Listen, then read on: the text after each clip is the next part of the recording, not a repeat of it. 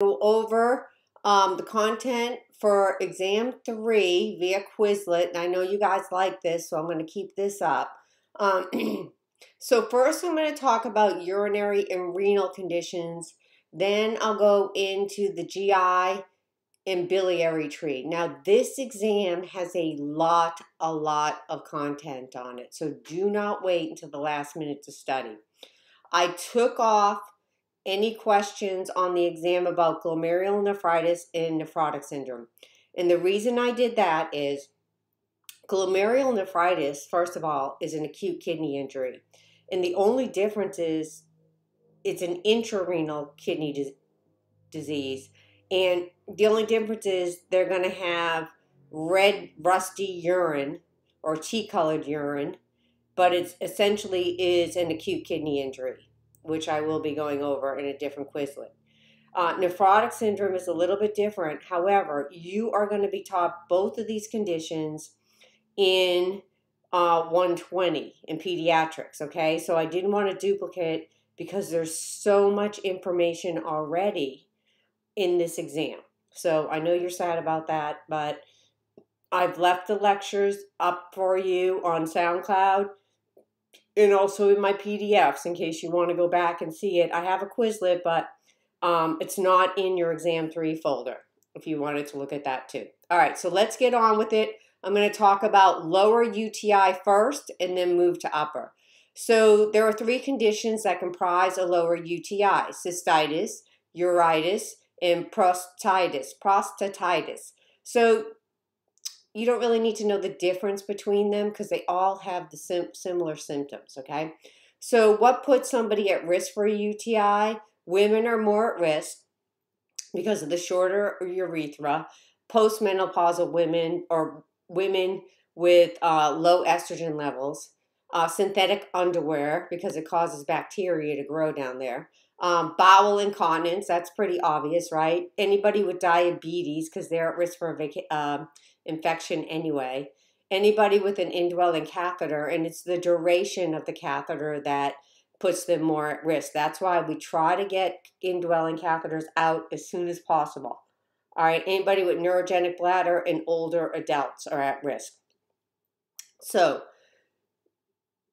why do you need to know who's at risk? Because you need to be able to apply this information in a situation. You need to be thinking about your patients and what is in their history that could put them at risk for a UTI. The most common bacteria that causes a UTI is E. coli. It's the same for upper and lower. The cues that point to a UTI, you can remember the mnemonic fun wise, or you can just remember the symptoms. Okay, so they're going to have frequency and urgency, uh, nocturia, and nasty smelling urine. W is for weak stream, and that's usually with prostatitis, but it's okay. Intermittency and itching, the perineal itching. They could have straining. Some sexually transmitted uh, infections can cause the same signs and symptoms as a UTI. And E is for emptying incompletely. So they feel like they're voiding in small amounts so they can't empty their bladder. Okay. Now, what you would anticipate the urinalysis to show in a UTI is it would be positive for leukocyte esterase, which is a byproduct of white blood cells. And you shouldn't see white blood cells in somebody's urine. So if somebody has white blood cells or red blood cells in their urine, you know they're in, they have a UTI. Positive nitrates is um, that's a byproduct of E. coli, so that means there's you know E. coli is causing the infection. Um, if there's any bacteria in urine, you're not supposed to have. Urine is sterile, it's supposed to be sterile when it comes out. Um, possible increase or decrease in the pH of the urine. So if the urine has a normal pH, you're not going to think they have an uh, UTI. Now with older adults, you already know this. They're gonna um, they're gonna present with new confusion. Um, they may be incontinence for the first time, and they'll have nocturia. Now, what we don't want, you want to recognize this early in an older adult, especially because they're going to be really prone to urosepsis, which you're going to see tachycardia, tachypnea, a temperature, and then when they become septic, they'll get hypotension. Okay. The medications used to treat Macrodantin is used for um, for UTIs, and this could cause hepatotoxicity. So LFTs may be uh, elevated. Cephalosporins, you know, they're very closely related to penicillins. Um, so check for allergies because they could have a cross reaction. Cipro, there are a lot of nursing considerations with Cipro. Cipro, so you want to take it two hours before or six hours after an antacid or iron preparation. Um, sometimes, as a nurse, it's hard to manage all these meds because there are specifications like that, and it's easy to, to miss it. Uh, avoid caffeine. Anybody with the UTI needs to drink two to three liters per day, but especially on Cipro. Now, it may cause a false positive in opioid screening test, so you can ask if they're applying for a job or nursing school. This was recently a topic of um, discussion on one of my nursing forums because um, the dean was asking what they do about that. And how I would handle is I would just have the student do another drug test after they're off the medications. Um, explain to report ankle tenderness because ciprofloxacin and um, the quinolones, it's, you know, it's in the quinolone family, um, they can cause Achilles tendon defects or injury. So they need to report ankle ten- tenderness. And also, they're going to be photosensitive. So they're going to be at risk for sunburn. Now, don't get photosensitivity confused with photophobia. Photophobia is when um, light hurts the eyes, like you can't see in bright light. Okay, that's photophobia. Phobia meaning your eyes, right? Whereas photosensitivity is, um, you know, is uh, fun, um, is a risk after about going in the sun. All right, so don't confuse with other medications. Photosensitivity makes you at risk for sunburn. Okay a client develops urticaria when an antibiotic is fusing, you got to stop the infusion right away. Absolutely stop that and call the physician, get a new drugs um, ordered. Um, if you have a patient on antibiotics that gets diarrhea, you're going to have to, um, you know, you let the provider know, but you'll have to send three stool samples at different times to the lab for ova and parasites. Um, and then your nursing instructions for somebody that has a UTI. You want all patients to finish antibiotics. You want people to empty their bladder every three to four hours. Don't hold it, which we do as nurses, right? Um, you want them to void before and after sex. Encourage fluids. Um, cranberry based products, that's like an herbal um, remedy to prevent UTIs. Uh, sitz baths and hot water bottles uh, wipe from front to back. Don't get turned around on exams either. Front, they need to wipe front to back. All right, no bubble baths, no sitting in wet bathing suits. Um, wear the right kind of underwear and don't wash your underclothing in strong detergents. Nowadays, there's a lot of smelly stuff. You know, those beads you can put into your laundry. So just be very careful with those kind of things because it may irritate um, the areas. Okay, so I'm going to talk about upper UTIs. And when I say upper UTI, I'm talking about pyelonephritis. Pyelonephritis is a bacterial infection that happens usually, you know, they have a lower UTI and the bacteria climbs up the ureters into the kidneys. All right, in this picture right here, this is somebody um, percussing or palpating the costal vertebral angle. People with upper UTIs have tenderness in the costal vertebral angle. And this is a defining characteristic because a lot of the signs and symptoms of pyelonephritis are the same as a lower UTI. All right, so the chronic result pyelonephritis, this, this happens in people who get repeated infections. And the people who get repeated infections are people like with spinal cord injuries because oftentimes they're laying flat. Um, also, people with structural abnormalities. Anyways, the chronic form is going to eventually turn into chronic kidney disease. And that's really all you need to know about that. All right. The risk factors for acute pyelonephritis include women 20 to 30 years old who are not voiding before and after sex, people on bed rest and immobility. And the reason they have acute pyelonephritis because there's reflux of urine into the renal pelvis. All right. Um, with acute pyelonephritis, it only occurs in one kidney, and with chronic, it occurs in both. So they're going to have all those sy- symptoms of a lower UTI. So these are going to be um, the symptoms that are similar to a lower UTI. Now, the symptoms that are different in pyelonephritis, the big one is CVA tenderness. Okay. And I already talked about, um, you know, with older adults, they could have fever, chills, tachycardia, and tachypnea. And once they get a low BP, we worry about urosepsis. All right, again, same thing. The older adults with pyelonephritis may present with the same symptoms as they would with a lower UTI. You differentiate between a lower UTI and an upper UTI by um, the CVA tenderness. It's only present in pyelonephritis and not in like lower UTIs. All right. Um, the most common organism, again, is E. coli. What will the urinalysis show? The same thing as a UTI. So you're going to see white blood cells. You may see some casts. Leukocyte esterase will be present. Nitrates will be present.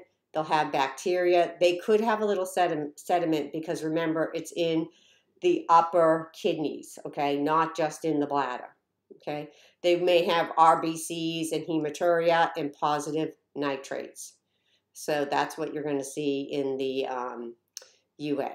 Um, okay, so these are the type of tests they would do. So a BUN, uh, I mean a KUB, sorry, KUB is kidneys, ureter, and bladder x-ray. So the nursing implications is make sure women aren't pregnant and they need to take off their jewelry. With a CAT scan or an IV pyelogram, these are, are exams with um, contrast dye.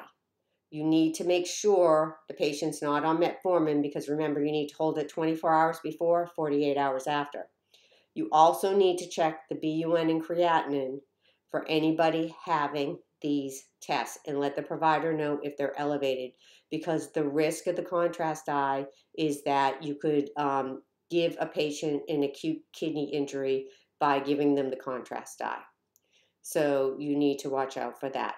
Now the cystoureterogram, that uses contrast dye, but the thing is it doesn't get absorbed. They put the contrast dye into the bladder and they take pictures while the patient is voiding, so it's non-absorbable. So you don't have to worry about all those nursing implications I just talked about renal scan is safe for somebody with renal problems. A renal scan is a test in nuclear medicine, and they would do it to see what the glomerular filtration rate is or to see what the perfusion to the kidneys are like. All right, lab findings. They're going to have an elevated WBC with the shift to the left. That means they're going to have increase in their bands. I don't know if you remember that from MedSurg 1. They'll have an increase in their BUN and creatinine and their inflammatory markers will be elevated. All right, what labs should the nurse check for a patient undergoing a diagnostic test with contrast medium, BUN, and creatinine? Creatinine is always going to be more sensitive, so if you ever get a choice between the two, you're going to pick creatinine because the BUN can be elevated, like if somebody ate too much protein, for like a lot of different reasons. I'm just trying to point out. But the creatinine is constant. So you're going to use the creatinine always if you get a choice between the two. You need to hold metformin. Um, repeated UTIs can cause chronic pyelonephritis. Um. Okay, you need to know this is a urinary analgesic. It's given to relieve the pain of urinary tract, either upper or lower urinary tract infections. To evaluate if it's working, you are going to ask the patient if the pain is relieved while they're voiding. Now, it's two very different things because you also need to tell them that it's going to turn their or- urine orange. So they need to watch out for that. Um, and they can be prescribed acetaminophen for the fever. We don't like to give aspirin to people that have uh, renal problems. And then the nurse should encourage the patient to drink at least two liters a day if it's not contraindicated, because you know in some older adults it could be contraindicated. The medications that are nephrotoxic and ototoxic include your aminoglycosides, so your mycins, remember that, your loop diuretics, um, aspirin, methotrexate, cisplatin, and NSAIDs. And if you ever have a question about a nephrostomy tube, you never clamp a nephrostomy tube. Okay, that's just so the because you can cause a hydronephrosis uh, with that. And I have that on um, one of my PDFs. All right, now I'm going to talk about benign prostatic hyperplasia. This is a benign growth of cells within the prostate gland, and it, it, it occurs in um, people that were born male at birth. So remember now, if a male tra- transitions to a female, they often leave the prostate in. So somebody that has transitioned to female, you got to watch out for that, okay?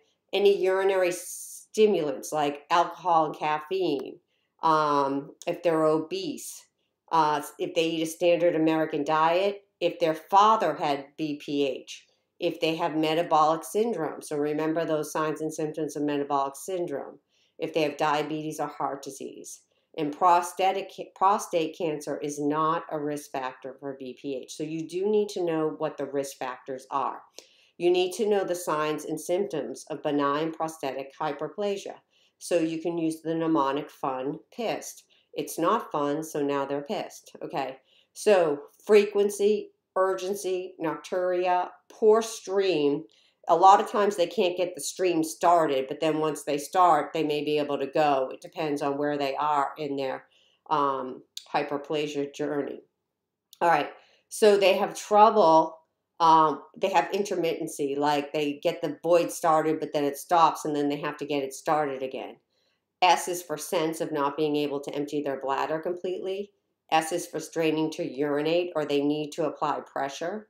E is for ejaculation pain or pain upon urination. So they'll have dysuria.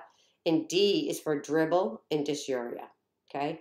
The nursing implications, patient teaching regarding a PSA blood test. So with the PSA blood test, they can't ejaculate for 48 hours before. They have no food restrictions. It's offered at the age of 50, and you expect the PSA to increase with age. But anybody who has a PSA greater than four, that needs to be investigated. Now, a high PSA doesn't always mean prostate cancer. It could be due to prostatitis or BPH. Okay, that's why it's in here um, if they had a UTI in the last six weeks, can elevate the BPH. So they may get put on medications to help with BPH. Um, they may have what's called a TURP, transurethral um, prostatectomy. It's not really a prostatectomy, trans, transurethral resection of the prostate. So what they do, the surgeon goes in with a cystoscope through the urethra, and they kind of Roto-Rooter the prostate gland. Okay. But so the patient's going to have like all these little shreds or all these little like tiny blood clots that they have to empty. So that's why they have a continuous bladder irrigation after TURP surgery. Okay. So um, we call it a Murphy drip. You might be hear that um, being called that. So it's bladder irrigation to remove the blood clots and ensure drainage of urine. Now, this drainage should be clear to light pink. You should never see bright red blood in the Foley, you know, coming out of the uh, catheter in a Murphy drip. The procedure, um, the usually they use a three-way Foley catheter, and it has a 30 to 40 ml balloon. Now, you probably know this, a normal Foley only has a 10 ml balloon. So this is a big balloon. And the reason they have such a big balloon is so it can hold traction on the surgical site. So you tape it to the patient's leg tightly.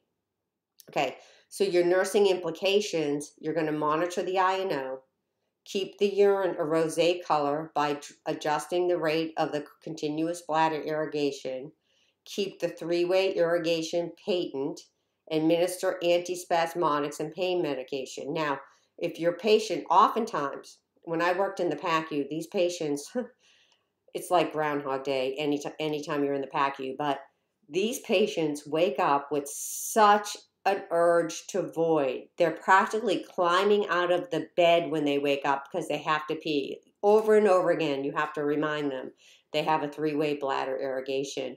Um, but if they start to complain about bladder spasms, that probably means that they have got a clot um, that is blocking the three way irrigation. So you're going to have to disconnect the Foley, or you're going to, how should I say this? You're going to have to um, irrigate with a 50 ml syringe, okay, with normal saline to get this uh, clot freed so that the continuous bladder irrig- irrigation can do its job.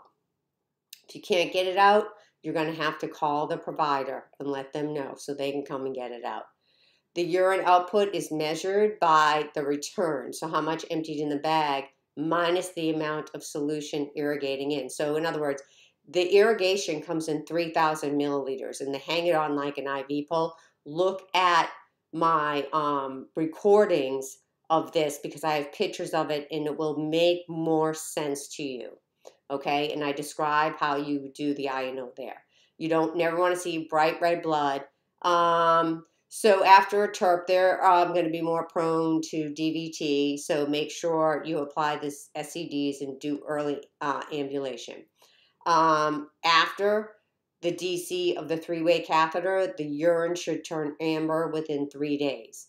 No sex or heavy lifting for two to six weeks. Okay, so that's BPH. This is a rich um, Quizlet that has a lot of good information in it. Okay, so now I'm going to talk about renal calculi. So a renal calculi or nephrolithiasis are kidney stones.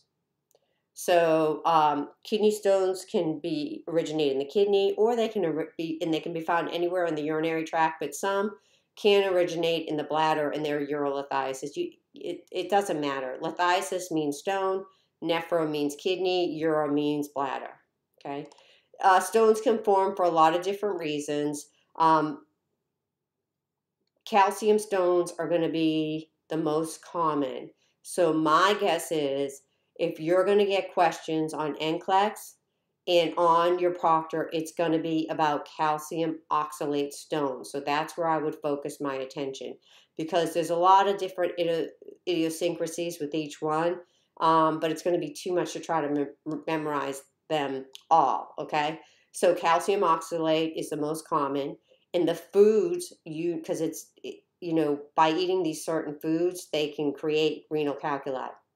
So you need to tell the patient to avoid or limit spinach, black tea, or just tea, cola, coca products, pecans, and rhubarb. Okay, so that's like the important thing there. Um, now, what you're going to worry about if somebody has a stone that it could obstruct the urinary flow and they could end up with an acute kidney injury and hydronephrosis. So make sure you're looking at the videos because I have pictures of what that looks like. So you want patients to drink a lot of water each day to try to flush it out, flush out the stone.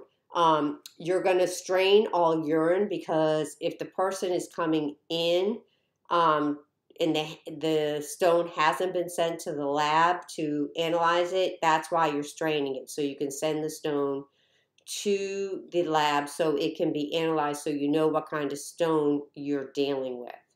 Okay. Um, so the signs and symptoms you're going to see is the pain is going to, that the patient is going to be in a tremendous amount of pain when they're trying to pass a kidney stone. I mean, women tell me that the pain is worse than childbirth. All right, and they, they may have hematuria. Um, they may get, these are the complications, they may get a kidney infection or bladder infection. They may get hydronephrosis, which is swelling of the kidney due to the buildup of urine, which can result in renal failure, which is why you need to act on it quickly. Um, the treatment of kidney stones is pain management, give a lot of fluids, um, stone analysis, so you would strain all urine. Now, once you have already sent all the stones to the lab, you don't have to strain anymore after you know what kind of stone it is, okay? Um, if the stones are small, they're going to let them allow it to pass. But if they're greater than one centimeter, they're probably going to have um, an extracorporeal shockwave lithotripsy. And what you need to worry about after is dysrhythmias. So look for palpitations, dizziness, weakness. Um, a lot of times patients will tell you, I feel like my heart is racing, it's jumping all over the place. So that's a good way to know. And then you have to strain the urine after the ESWL to determine if the stone passed.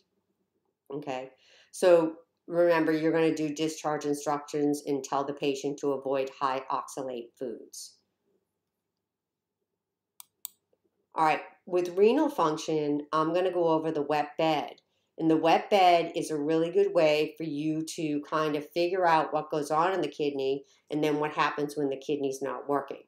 So let me just preface this by saying an acute kidney injury is acute, obviously, um, but the oliguric stage of acute kidney injury is the same, has the same signs and symptoms as chronic kidney disease. So don't try to memorize a bunch of things. Just listen to what I'm saying about what's normal function of the kidney and what happens when the kidney can no longer do it, because that's going to be your signs and symptoms of an acute kidney injury and chronic kidney disease um, in the oliguric stage of acute kidney injury, which is when I'm doing ATI questions, that's what I see the most, those kind of questions. So the kidney regulates acid base balance, water removal, erythropoiesis, toxin removal from the body, um, blood pressure control, electrolyte balance, and vitamin D activation. So, if the kidneys can no longer regulate the acid base balance, they're going to have metabolic acidosis with Kussmaul's. So that means they're going to have a low pH, usually a low PaCO2 and a low bicarb. The treatment for metabolic acidosis is to treat the underlying cause. And for, for patients that are really sick and are not putting out any urine, then they may need dialysis, okay? What findings would the nurse anticipate if the kidney can no longer remove water from the body? These are your signs and symptoms of fluid overload. So the patient's going to have orthopnea, meaning they don't want to lie flat, they want to sit up. Um, they're going to have crackles. They're going to have tachypnea, tachycardia, cough, pink frothy sputum, shortness of breath, a low O2 stat, and feelings of impending doom. Anasarca means total body edema. Um, so they could have that, and vein, vein distension, which is jugular vein distension, usually. What action should the nurse take for a client experiencing fluid overload? Well, you're going to put the head of the bed up first, then you can put some O2 on them. If the patient is still producing urine, you're going to give probably furosemide. Morphine is a very good drug for pulmonary edema. Digitalis will help the heart contract better. Um, and then dialysis if the patient is not making urine. Now, they could be put on a fluid restriction, and the typical fluid restriction is going to be the urinary output for 24 hours plus 500 to 600 milliliters. So what that means is if my patient's urinary output is 2,000 mLs today, tomorrow they can have 2,500 to 2,600 mLs of intake. All right, if the kidney can no longer secrete erythropoietin, the patient is going to have anemia. So the signs and symptoms of anemia is tachycardia, dizziness, um, they're going to be pale and tired. The medication for that is epoetin alpha, SC, and you need to monitor um, for hypertension and headaches. And you know, we don't, we check the hemoglobin and don't give it for if it's over 11. All right. Which findings should the nurse anticipate if the kidney cannot remove toxins? Uremia. Uremia is one of those conditions where every single body system is affected. Okay, so uremia, um, the symptoms, every body system. But first, let me say this: uh, if the if the kidney can't um, get rid of toxins, they're going to be at risk for adverse effects from their medications because they're going to stay in their body longer. So, for example, a diabetic who is taking insulin or oral medications, they're going to be more at risk for hypoglycemia because the insulin in the or the drug is going to stay in their system longer. So you're going to have to do more frequent blood sugars. Um, somebody on DIG, you might start to see DIG toxicity. So you have to you have to look for those kinds of signs and symptoms. Now, uremia affects every body system. Um, you're going to be uh, learning about the liver pretty soon, and some of these signs and symptoms are very similar, okay, because it's due to a buildup of ammonia because the kidney can no longer get rid of it. So it um, is neurotoxic. Okay, uremia is neurotoxic, so they they could be confused. They could have encephalopathy. Um, it is irritating to mucous membranes, so they can have stomatitis.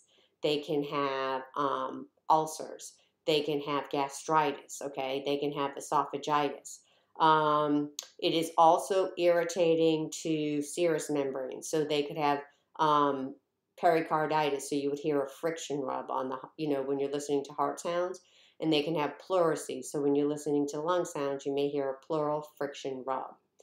Um, uremia, they're going to have anemia um, because, well, two reasons. You know, the kidney can't make erythropoietin, but also when the BUN gets really high, red blood cells start to lyse. Okay, that's a factor of that. Also, um, uremia makes the thrombocytes, which are the platelets, not work as well. So people with end stage kidney disease are going to be at risk for bleeding. Okay, I would definitely look at the PDFs. Um, especially in the video, especially a wet bed, so you can get a better idea about how uremia affects every body system. Okay, so if um, the kidney can no longer manage the blood pressure, your patient's going to have hypertension, and it's going to be managed with ACE inhibitors or ARBs if they can't tolerate those, calcium channel blockers, and beta blockers. So, one thing you have to remember is in kidney disease, if the patient is oliguric or anuric, they're not going to be able to get rid of potassium. ACE inhibitors can make, and ARBs can also make them hold on to potassium. So you have to watch the potassium level very closely. Um, which electrolyte imbalance should the nurse anticipate? If the kidney can no longer regulate electrolytes, you're going to see high potassium, high phosphorus, low calcium, high magnesium, and high sodium. So what that means is somebody with oliguric kidney, acute kidney injury, or somebody with chronic kidney disease are going to have these labs. High potassium is treated with kind, and we went over this before. I can't remember in what lecture. But if it's a really high potassium, you're going to do insulin and dextrose first because that's going to work the quickest. Then they can get Kayexalate. Um, and sodium bicarb, we don't really do that that much because it's a huge salt load. But they may need dialysis, or if they're still producing urine, diuretics. Um, PO4 can lead to osteodystrophy, which can put them at risk for um, pathological fractures. So it could put them at risk for injury. So avoid high phosphorus foods. Um, they're going to need to take phosphorus binders with every meal and encourage calcium containing foods and vitamin D. The nurse should always avoid uh, antacids containing magnesium for patients that have kidney disease. So the conditions we're talking about that where this wet bed will um, kind of present the symptoms of if the kidney's not working are the oliguric stage of AKI, the oliguric stage of acute glomerulonephritis, which we're not going to even talk about for this exam, chronic kidney disease, polycystic kidney disease, which we're not going to really talk about for this exam at all. The thing with polycystic kidney disease, the only thing you really need to know, it's genetic. There's no way around it. They're going to end up with end-stage kidney disease. And these kidneys can grow huge, like up to 10 pounds. So you may see a mass on their back. Um, so the neurological signs of uremia, remember I said that it was neurotoxic. So they could have asterixis, which is called wrist flapping. they're going to be fatigued, they could have ataxia, they could have peripheral neuropathy, and they could have encephalopathy. So patients that are in the oliguric stage of AKI or have chronic kidney disease are going to be put on a low protein diet. Now, the GI symptoms, this is due to uremia being irritating to mucous membranes. So they're going to have vomiting, anorexia, nausea, um, GI bleeding, stomatitis, gastritis, and something called fetor. Okay, fetor is actually um, musty breath, so they could have that. Um, hematological signs of uremia are anemia, bleeding, and infection. And the, what you're going to see on the skin is they're going to be itchy. They'll have yellow tan skin, and that's called sallow color. They'll have purpura and petechiae because they're at risk of bleeding.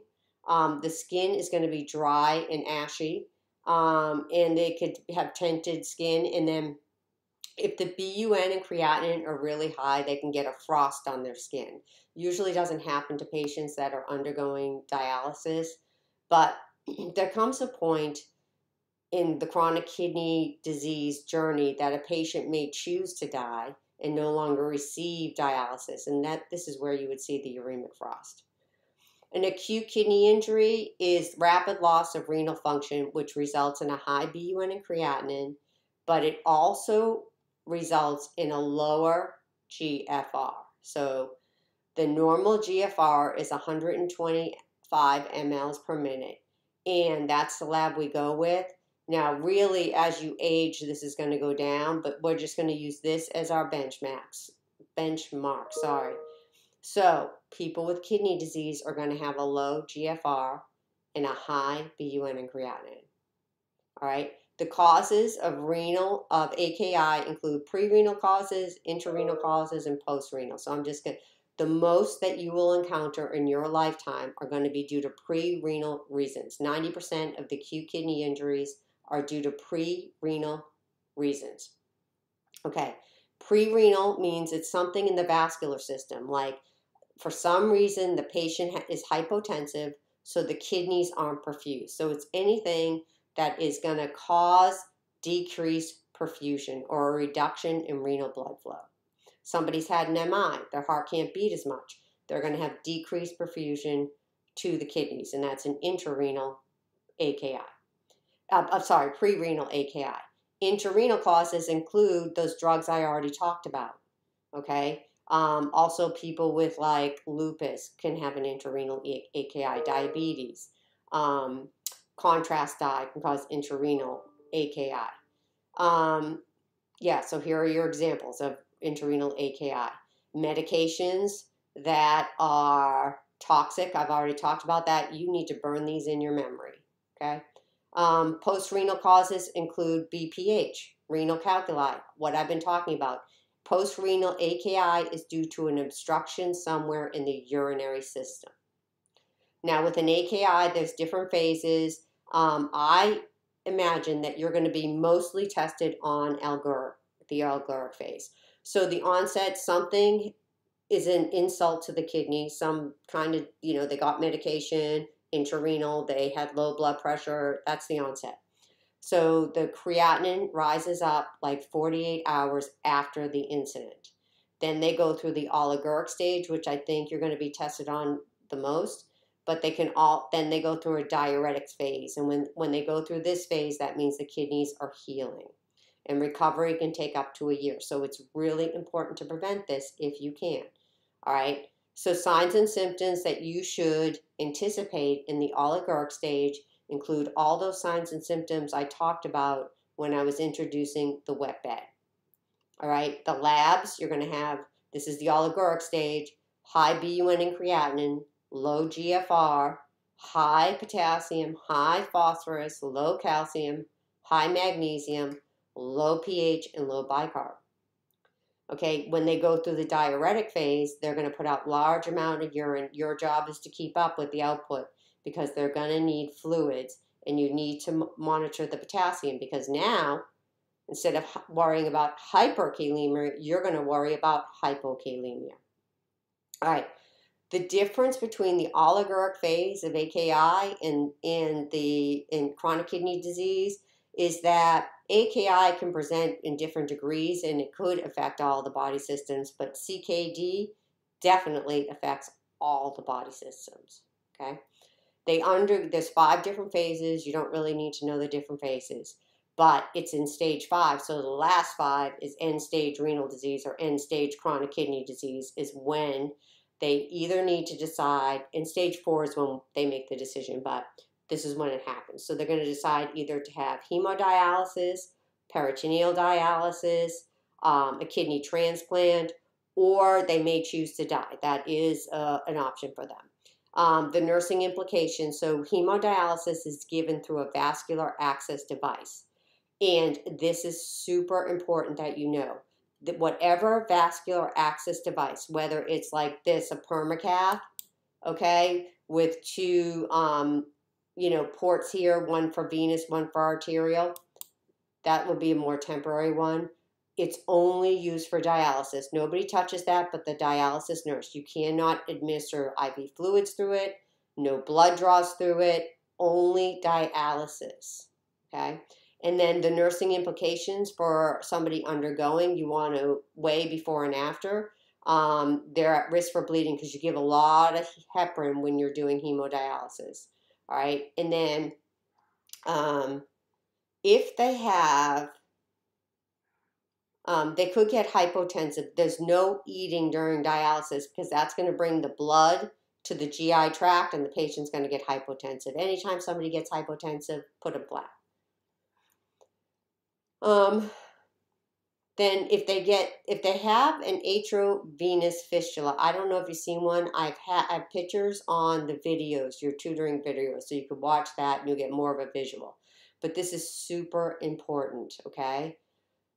No BPs, IV fluids, or blood draws on the same side as the AV fistula. So the physician, the surgeon, creates an AV fistula by attaching a vein to an art, art, uh, artery you're going to assess cap refill in pulses distal to the site. So essentially, you're doing your six P's on that hand that the AV fistula is on. When you come on your shift or working throughout your shift every four hours, you're going to auscultate for a bruit and palpate for a thrill. And that's to assess the patency of the fistula. So WA means while awake. You're going to encourage range of motion on that arm. They shouldn't, you know, not do anything with that arm. Instruct the patient not to carry heavy objects with that arm or wear anything like a watch, okay, that compresses the extremity or like a um, tight, tight clothing on that side. Instruct them not to sleep on the graft or fistular site and it needs to be cleaned properly before it's working. All right, the big thing with peritoneal dialysis is peritoneal dialysis is good for people that want to travel, people that have the capacity to care for themselves. Um, and there's going to be a little bit more protein loss, so they're going to need to eat more protein in the diet. They could get hypercalcemia, a hyperglycemia, because there's glucose in the in the solution they use. Peritonitis is a big deal. Now I go over peritonitis a lot. So if they're effluent, which is what is drained out, is cloudy, you're going to suspect peritonitis because it should just be straw color when it comes out. So you need to worry for that. Um, peritonitis, you're going to see distended abdomen. It'll be tender. The patient will guard. They'll have a high white count. They'll have a fever. Board like abdomen or rigid abdomen. Those are like the hallmark signs. Okay. Um, if you're having trouble getting the outflow to drain, okay, you need to make sure the bag is lower than the abdomen. In the patient, you need to roll side to side and check for kinks and reposition the patient. So, self management, the patient needs to weigh themselves every day. They have to do it on a schedule, not just when they want to do it. Or if they're feeling good, not do it. They have to do peritoneal dialysis on a schedule. They could have respiratory distress when they're first starting to stretch the peritoneum out. Um, so watch for that. and they need to stay on their fluid restriction as prescribed and take their diuretics as prescribed. Um, so that's the scoop on urinary and renal that you're going to see on the exam three.